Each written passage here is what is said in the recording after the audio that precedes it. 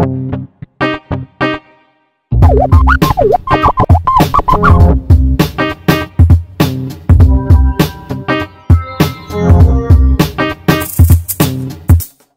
We've previously looked at 3D printers here before at Tech Life with the UP Mini and now here in the depths of the Tech Life labs we have the Replicator 2 from MakerBot, aka the Rolls Royce of DIY 3D printers. As with the UP Mini, you'll need to design your own objects in 3D or download from sites like Thingiverse, then convert to a format the MakerBot can read, download to an SD card and you're good to go.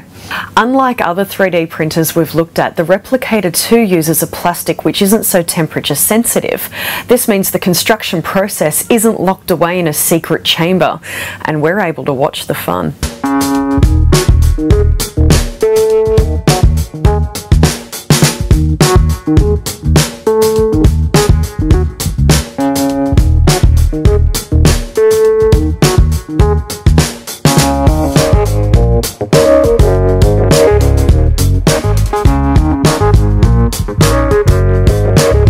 Because what the world needs is more shutter shades.